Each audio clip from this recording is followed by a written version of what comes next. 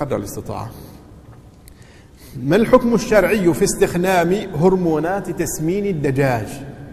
هذه للأسف التي يبتلى بها الناس في زماننا هذا.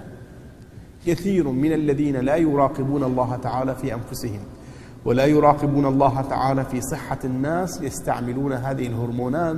لذلك هذا الدجاج لأيام قليلة وستجدها بهذا الحجم. والسبب هذه الهرمونات. تصوروا أن كثيرا من هؤلاء الأشخاص الذين يستخدمون هرمونات تسمين الدجاج يستخدمون حبوب منع الحمل لأنها هرمونات وهذه هذه الهرمونات هي التي تحفز كثيرا من الغدد وكثيرا من الأنسجة في الجسم على النمو. وقد رأيت بعض الدراسات في دراسات متخصصة رأيتها يقولون إن الأطفال الذين كانوا يأكلون بعض الأطعمة التي غذيت على هرمونات التسمين هذه كهرمونات الحمل ونحوها يقولون إنه ظهرت فيهم إشكاليات كبيرة. أما في الأطفال الذكور فظهرت فيهم مظاهر أنثوية وهذه دراسات متخصصة استقرأت حالا معينا وأشخاصا يتناولون هذا فضلا عن كثير من الأعراض النفسية التي أصابتهم. وفي النساء أيضا أصيبت كثير من النساء وفق هذه الدراسات بالعقم ونحوه من الأمراض.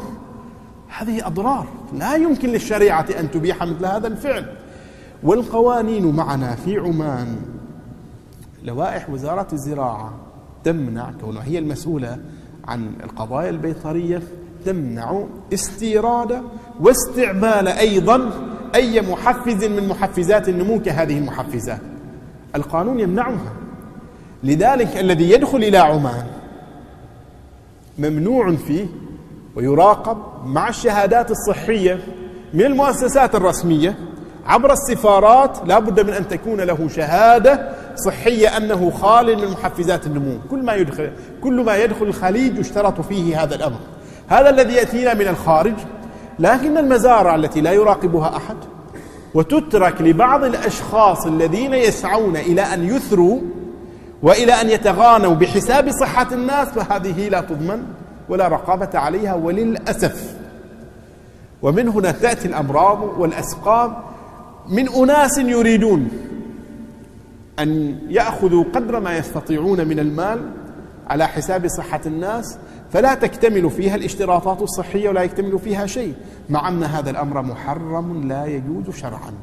وكل من كسب المال عن طريق الإضرار بالآخرين فإنه يلزمه أن يتخلص من هذا المال بعد التوبة النصوح إلى الله تعالى. كيف تثري أنت على حساب صحة الناس؟ تخادع الناس وتغشهم في طعامهم ثم بعد ذلك تقول إنني ذبحته بنفسي وما إلى ذلك من الدعاوى الفارغة التي نسمعها. إن لم تكن هنالك رقابة. على هذه المزارع المنتشرة كل أحد جاء وأنشأ مشروعا. لا نعارض. نريد من بلادنا أن تكون أقوى بلاد في اقتصادها. نريد من بلادنا أن تكون أقوى بلاد في إنتاجها في اقتصادها الحقيقي خصوصا ولكنه بالتي هي أحسن. لا أن يترك الأمر هكذا دون رقابة على هؤلاء خاصة في مزارع الدواجن. مشاريع صغيرة نريدها نؤكد عليها ونحن نحسب أن أهل البلد بإذن الله تعالى لن يستغلوها إلا فيما هو صالح الناس. لكن حينما تكون هذه بأيدي أناس قد لا يراقب بعضهم. الله تعالى ولا يتحمل الواجب الوطني في رعاية بني وطنه. قد تحملهم أنفسهم الأمارة بالسوء في أحيان على أن يضيفوا هذا مسارعة إلى الربح المادي. هذا كله محرم لا يجوز وعلى صاحبه أن يمتنع عن هذا الغذاء. كما أنه يلزم شرعا. من اتخذ هذا الغذاء هذه الهرمونات هرمونات تسمين الدجاج حين بيعها يجب عليه شرعا أن يفصح عن هذا حين البيع لأنه عيب فثمة أناس كثيرون لا يرضون أن يدخل هذا في أجوافهم لا يرضون أن يطعموا به أولادهم.